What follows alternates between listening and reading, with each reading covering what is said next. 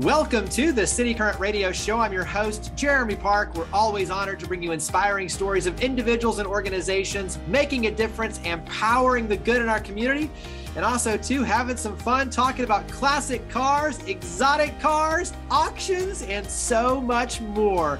We're here with Stephen Mancuso. He is a motor specialist with Bonhams. And let's start out. Stephen, how are you doing? Good, man. Good to see you. Absolutely. So let's dive in before we start talking about Bonhams and all the amazing work that you do there. Give us a little bit of your story in terms of how you got into working as an auctioneer, a motor specialist, working with Bonhams. How, how did you get into this world? Yeah, so uh, I was a commercial insurance agent for um, Regions Insurance, which later became McGriff, and uh, and I, I, had a specialty in that I represented Hagerty Classic Car Insurance, and uh, one of the better known classic car insurance groups. And one of my clients was the Tupelo Automobile Museum. And so during one of our regular conversations, I, I asked this lady who was in her early 60s, good health, has homes all over the world, and wanted to spend more time in them. I said, You know, what are you doing here, Jane? And she says, Well, I'd really like to sell this place, and I want to sell to Jay Leno. I said, Well, okay, let's do that and she looked at me like I had three heads. But um, I, I, ended up, you know, snapping some quick pictures of cars, and and when you have things like a Tucker and a Duesenberg, um, it makes a lot of doors open up. So we put a proposal together, sent it out to him, and a few days later, he gave me a call back and said, you know, he wanted to have five cars out of this collection of 200. And I said, well, that's not going to work. So we um, we ended up moving on and and I worked with uh, a guy named Wayne Carini out of uh, um, out of Connecticut. He actually has a TV show called Chasing Classic Cars. We filmed the whole uh, the whole process of us uh, coming in and assessing the collection, um, and then we uh, we interviewed three auction houses, picked one, which ended up being Bonhams ultimately, and um, and we put a plan together that um, I thought I had 18 months. We did it in nine and it was a what's called a clean sweep where by the time it's all said and done we sweep the floors clean. There's nothing left in the building. And so we did that and through that process bonhams hired me or offered me a position there and i joined shortly after the auction. But um, but we did a live auction worldwide with uh, something to the tune of about 5,000 uh, bidders in the in the room and on the on the internet and on the phone, and uh, brought in over $10 million in proceeds for Jane's charity, which uh, she ultimately gave away. So uh, it was really a great experience, and that's how I got to be here. Yeah, absolutely. And it's a cool local story, too, in terms of the Mid South. Talk about Bonhams overall, very storied legacy. So give us a little bit of history on Bonhams. Founded in 1793 uh, um, out of the UK, and uh, still, that's where our, our, global headquarters are there now. Um, and uh, you know, we, we, being the auction oldest auction house, we we work in many different areas. We're you know we we specialize in things like jewelry and fine arts. Um, the, uh, the motor cars are just a small piece of a lot of the different uh, things that we have to offer. So you know, we recently had a Western art um, deal uh, auction where we were selling some rare guns and and memorabilia from the old west and uh, we sold a, a world record setting um, the handgun that killed Billy the Kid, uh, owned by Pat Garrett uh, or, or, recovered by Pat Garrett. Um, sold for just over five million dollars. So it's the we do a little bit of of many things, and uh, we have great divisions that's that have lots of ability to help customers in many different ways. Miss Spain, who owned the the Tupelo Automobile Museum, also had a very fond collection of uh, of world maps so we recently had uh, one of our map specialists within Bonhams come in, do a full appraisal of her 4,000 maps, and uh, we're set to take those to auction in October. So uh, well, that's that's the hope anyway. Yeah. Walk us through how the auction process works for those who have never, you know, been a part of it.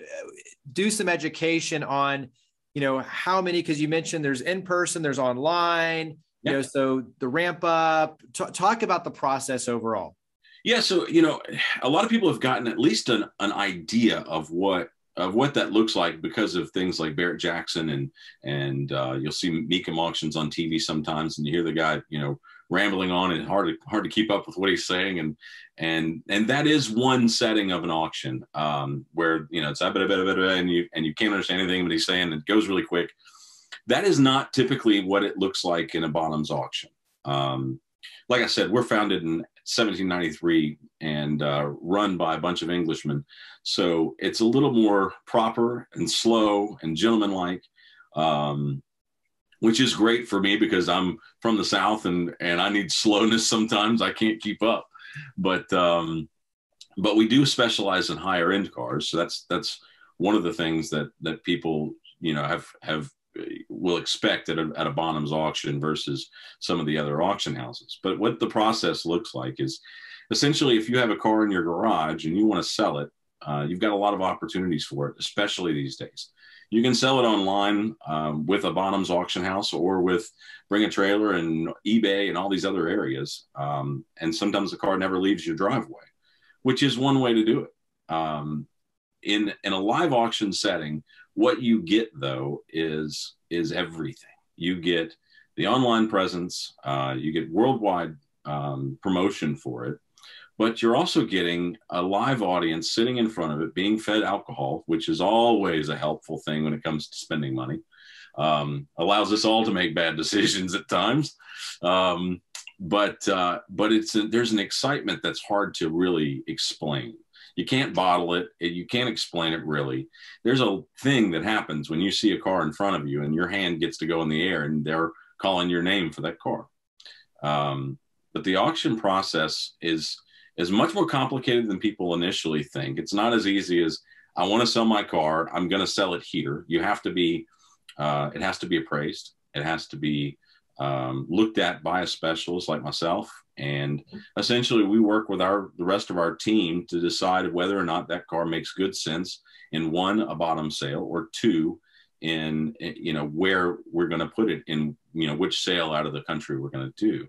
And um, we try to keep um, the best of the best for our premium sales. So, um, so there are times where we say, you know what, this is not the best fit. We're not the best fit for this particular car, and and we're always, you know, I, I like to think that we're always helpful in helping any customer with any valued car find the right place. My job is to is to be uh, is customer service. And so, you know, whether I have an opportunity to sell your car or not, um, I really want to be helpful in that process because there's very few people in certainly in the Memphis area or Nashville area that um, that are here on site that can come in and say this is what I can do or this is what you should do. Um, we've got a lot of experience with with guiding people in the right direction with that. So so sometimes it's a it's a lot of bad news where people think they've got a very expensive car, and and I have to show them that you know, look, this is something that's a little more common than you think, and um, but each auction house is different. There are fees involved with each auction house. So when you decide you're going to bring a car to sale, it's going to um, there's going to be fees involved. Uh, the auction house will charge you a fee to sell it, uh, a fee to market it, uh, if you're buying a car, there's a buyer's fee that you always need to be aware of and sales tax. And then there's the wonderful thing called transportation, which people often forget. But you actually have to pay to get your car sent to auction. And then if you don't sell it, you have to bring it home. Uh, whether you had a reserve on it or it's a no reserve car that didn't sell, which does happen, uh, you have to pay to get a car back. So there's a there's always um, there's a lot of things that people tend to forget about. So um, you have to be very careful when you're planning to sell your car and how you're going to do it. But an auction is often the most exciting and most profitable way to do it at the end of the day.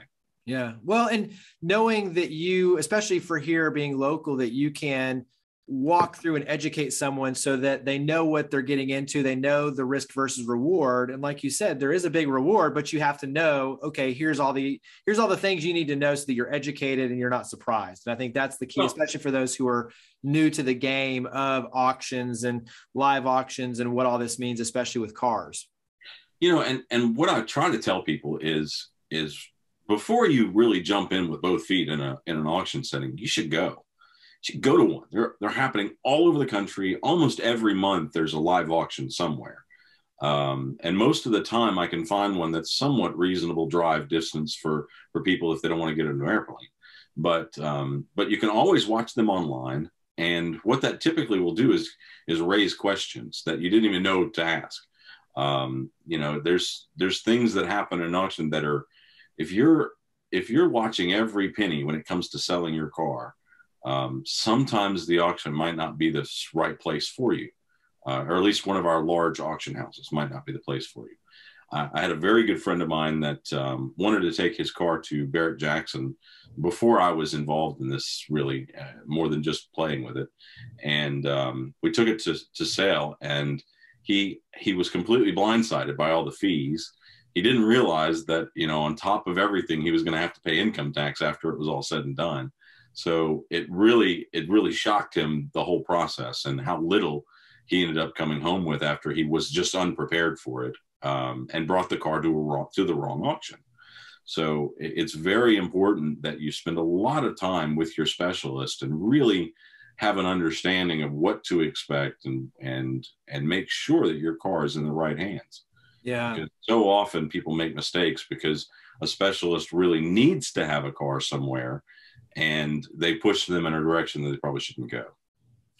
Great advice what are some of the the recent favorites on your end in terms of being able to to work with some of the cars so tease us a little bit uh, as much as we can through the audio and, and, not having all the pictures but what are some of your favorite recent cars so uh, i have the greatest job on the planet for anybody that likes cars uh, i was the kid with the matchbox car collection and the posters on the wall i still got them um, so i had uh, i recently had to go out to Monterey, California for nine days for our big auction there. And I literally get off the airplane and I'm I'm met with a friend of mine who said, "Hey, uh, I'm your ride back to the to the site, which we were in San Francisco, headed back to California, or had headed down to Monterey." So we climbed in his Ferrari 458 Speciale, and he says, uh, "You feel like driving?" Those are great words when you're a car guy. Um, you know, one of the other great things was uh, I had a client that said, "Man, I really want you to go test drive this car for me." I said, "Okay, great. What what is it?" And it's the Ferrari F40. I love Ferraris, if you can tell. Uh, so you know, driving the Ferrari F40 over to Laguna Seca for a test drive is not a bad deal. So we really get to have a lot of fun. Um, it is stressful at times. I mean, we were asked by a manufacturer to, to, to drive around five cars for promotional use, and we were going to several events while we were there, and so um, there's a, uh, a, several of these concept cars that are available out there, and we were driving one of them, and and you know it's so exciting. You get into a multi-million dollar car, and you know they give you the keys slash little keypad thing that you push buttons to start the thing. And I was driving a Koenigsegg at the moment, and um, I'm all excited. I can't wait. I'm gonna put my my right foot down and hear the throttle and you pull out and there's nothing but traffic for the next five miles and you're like well i hope it doesn't overheat um, but yeah so we really get some great experiences um, i've driven and ridden in some of the most amazing things out there that i that i've ever seen and um, and i was a part of selling some uh, our most valuable car was a 28 1928 mercedes uh, s-type that we sold for just over five million dollars and a good friend of mine bought that car at our auction. So, uh, so part of my job is to assist bidders throughout the process. So, um, I'm I'm somebody they call a ringman. I'm I'm actually in the audience for a great bit, of the auction when I'm not on the phone with bidders, and um, and I'm in the auction with our with our customers, and and I'm standing next to them, and we're talking through the process as the car is up there for sale, and that's always fun when the guy looks at you and says, you know, bid it up to four million dollars. And and you know it's it's just a thrill because in that moment you're uh you're part of the action. So it's a it's a lot of fun. The audience loves it. It's exciting. Uh, and people get excited about you know everything from you know a, a little fiat that sold for five thousand dollars to the mercedes that sells for five and a half. So uh, uh, it's really there's something there for almost everybody there's always a deal to be had at an auction it may not be the deal you necessarily want, but there's always a deal to be made. Yeah. Uh, it's just such an exciting environment. You know, you, you meet some really interesting people. We have celebrities. We had Tom, Tom Hanks brought three of his vehicles to our auction and he visited with us for a little while and got to, got to hang out with him a bit.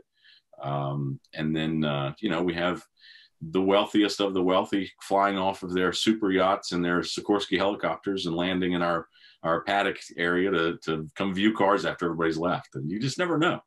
So, uh, what would your words of encouragement be for those here in the mid South in terms of, you know, if they have a classic car or a car that they want to sell. And then obviously on the other end, if they're looking to uh, get into cars as an investment opportunity, or maybe they're a collector already, what would your words of encouragement be for those here in the Mid South, in Nashville, across Tennessee, kind of here locally, um, to, to just be more in the game of, I look at these as, as all really powerful investment opportunities, but but in this game of classic and exotic cars.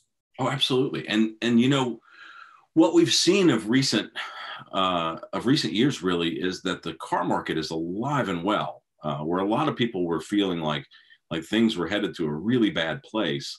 Um, uh, you know, the world has changed, and with that, so did cars. You can go to any new car dealership right now. There's nothing out there. It's kind of the same thing in the classic and collectible car market, um, where people are searching for inventory. If you're if you're somebody here in Memphis or Nashville or anywhere in between, and you've got a car that you'd like to sell, it can be a daunting task when you've got a collectible car where you know everybody wants to get the most possible for their vehicle. Um, you know, maybe it's something you inherited from mom or dad. I deal with a lot of widows. Um, that's probably 90% of what I get as far as phone calls go are people that are that are looking for someone to help their mom or their aunt or their next door neighbor who's lost their spouse and now they've got this collection of cars and they never talked about what to do with it. So i have two words of wisdom for that. One make a plan for your cars. If you have one if you have one that's you know a 1987 corvette make a plan for it. Tell everybody what you want to do with it. Uh, if you've got 150 cars dear god make a plan. Put it in, put it in writing. Put it in your will. This is what my instructions are I hold currently three powers of attorney over over uh, collections. That in the event that someone passes away, I have clear cut instructions. So does the spouse. So do the children. I'm to go retrieve the cars and sell them at auction at no reserve, and they're to receive the money. Period. And so, you know, those are things that we do on a regular basis, and we counsel people through the process sometimes. Uh, Miss Spain was a, was an example of just that. She was a widow, didn't know what to do, didn't know how to get out of this hole and we made a plan. We executed the plan really well. And at the end of the day, she was thrilled to death and she thanks me on a regular basis. So, um, so I, I tell people all the time, make a plan. But the, the, the long and short of it is if you're a local person and you've got a, a car of, of really any collectability, um, give me a call, talk to me because the car world, although it seems massive, it's really not. Um, you know, I, when you go to these events and you meet the same people at all the same stuff, like all of a sudden the world shrinks really, really closely.